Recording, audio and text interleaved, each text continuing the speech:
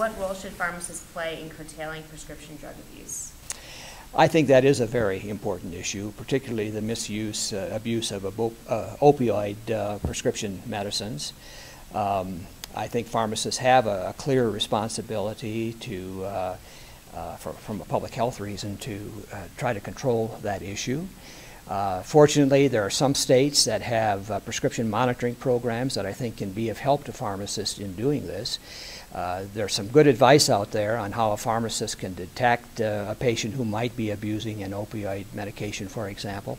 And I do think it's an ethical responsibility that pharmacists have, not to just automatically provide those uh, medications in response to a prescription, but to be alert to the potential that it's going to be subject to abuse or resale or things of that nature.